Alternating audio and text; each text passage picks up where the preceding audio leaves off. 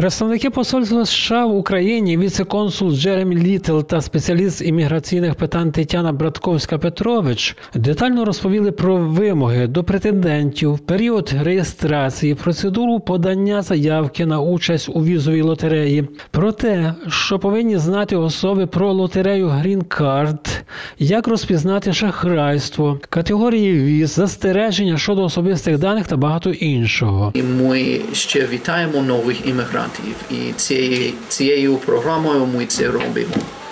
А, тому і ми хочемо, щоб ви знали, як правильно, правильно і легально грати у, у, цій, у цій програмі.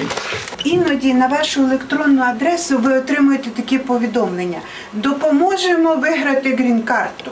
Приймайте участь у грін-карті з нами. Все це вказує, має вам вказати принаймні на те, що це якийсь нечесний підход, підхід до справи. Справа в тому, що департамент ніколи нікому не присилає повідомлення про участь або виграш.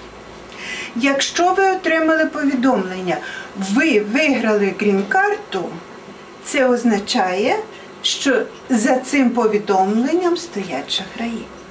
Представники посольства США відповіли на численні питання, роздали флаєри з корисною інформацією та дозволили розмістити на сайті бібліотеки презентацію пана віце-консула для подальшого ознайомлення наших користувачів. На зустріч з поважними гостями завітав заступник голови райдержадміністрації Богдан Зеленчук, який подарував рекламну продукцію про наше місто і 22-й міжнародний гуцульський фестиваль. Наші краяни, як виявляється, масово цікавляться лотереєю Зелена карта до Сполучених Штатів Америки. Проте віце-консул нагадав, що треба добре подумати, як ви будете виживати в США, адже там розраховувати треба буде тільки на себе, самому шукати роботу, житло і таке інше. Заявки можна подавати один раз в рік. Реєстрація на участь у візовій лотереї є безкоштовною.